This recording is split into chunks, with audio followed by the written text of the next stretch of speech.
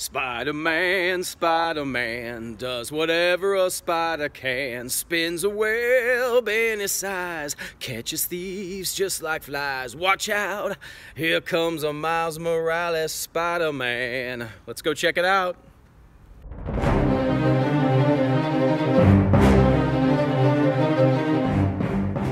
Hey everybody, it's Erik. I'm back from seeing Spider-Man Into the Spider-Verse. Wow, what a great movie. Sony, you're on a roll with two great Spider-Man universe movies. Uh, awesome job, awesome job. The movie is rated PG. Uh, there are some violent scenes and some scary scenes. I'm surprised. It could have crept, uh, you know, up to the PG-13 range. It's PG. It's under two hours, perfect length. It's directed by uh, three people that have a good track record in animation, and I thought the direction was fantastic. Uh, just the blocking, the scenes, the editing, awesome job all the way around. Great. Uh, the screenplay was written by Phil Lord. Yeah, so that's from the team of Lord and Miller. Uh, they did the Lego movie, and of course, they were fired from Solo by Kathleen Kennedy of Lucasfilm. Wow, this screenplay was amazing. I loved it. Uh, we'll talk about why, but boy, oh boy, I think Kathleen Kennedy might have messed up firing Lord and Miller on Solo. Again, the movie is great. So let's go over our voice talent cast. Uh, Shameik Moore plays Miles Morales, who of course is Spider-Man. Fantastic job. Uh, Jake Johnson as Peter B. Parker. Uh, great job. I loved his character. Hailee Steinfeld plays Gwen Stacy. Yep, another good job. Uh, not overly familiar with their work, but Liev Schreiber, we know him as Ray Donovan and uh, Sabretooth on the X-Men Wolverine movies. And of course here, he is the Kingpin. He is the bad guy.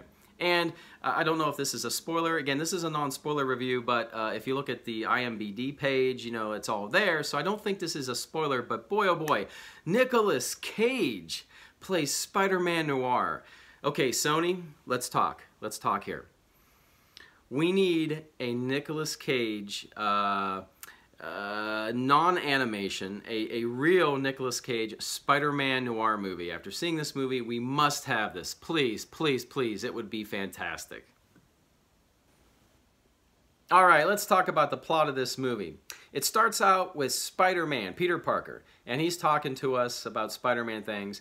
And in the very first minute, this movie had me. The references had me cracking up. Uh, they're very smart. Uh, they're very subtle, so if you're a big Spider-Man fan, for many years you're just going to be laughing at these things. And they're not silly, they're smart. Uh, and then things move to Miles Morales. He doesn't have his powers yet. Uh, we get to meet his family, his father, his uncle. Uh, you, you know the situation. So we meet Miles, and then Miles will come into the situation where he gets his powers. He will bump into Spider-Man. Uh, they will have an encounter. Uh, and then the Spider-Verse verses will be unlocked and the various spider people will come into play and they will team up to foil the plot of the Kingpin who wants to wreak havoc uh, on our reality. So uh, yeah, there you go. That's not too spoilery.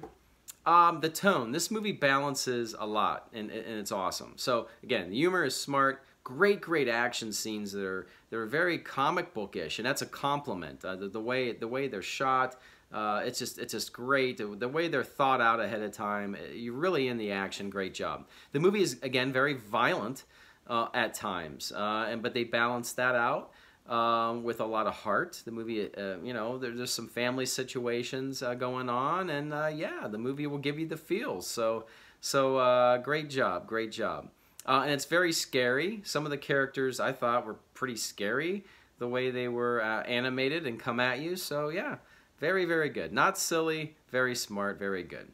Uh, the animation style. So some of the characters, because we're dealing with different universes, are not what we expect. There is some gender swapping, and I, and I thought it was really good. I really like what they did with some characters. Um, one gripe, I did not like how the Kingpin was designed. He was a little bit too uh, hulking and... Uh, his uh, his neck was like three feet above his head. He was drawn weird. I, I that's a personal thing. I didn't quite like that. He reminded me of Gru from uh, Despicable Me, kind of. So just personal taste. I, I didn't like that. I, although I did like uh, Liev's performance. Great job. Um, and in the beginning of the movie, uh, animation-wise, uh, so the background had a sort of blurred red and blue look to it. Uh, it looked like we needed old-time 3D glasses to correct it.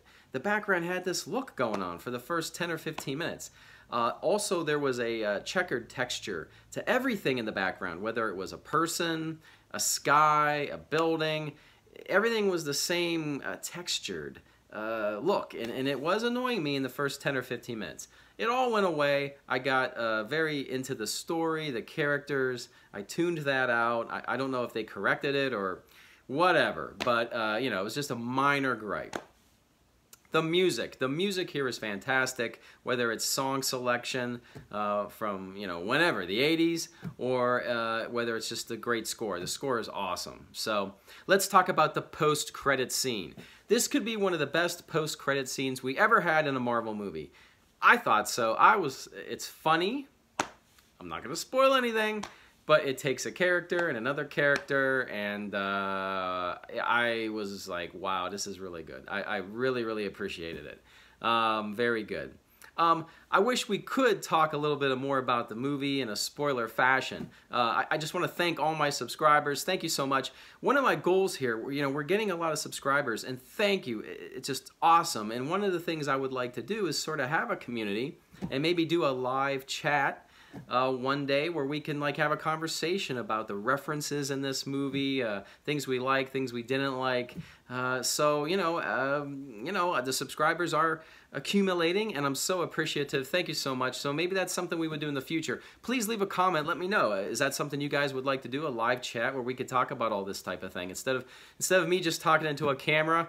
You know, you know that that's cool and all, but I'd rather have some feedback. So let me know what you think. Um, Aquaman, Saturday night. I'm super stoked. Uh, I'm hoping that's going to be a great movie. I think it will be. So Aquaman is Saturday. Uh, this movie, yeah, I'm going to buy it. I'm going to see it again. I did not see it in 3D. I saw it in standard, uh, you know, 2D. Uh, so I'm going to go back and see it in 3D.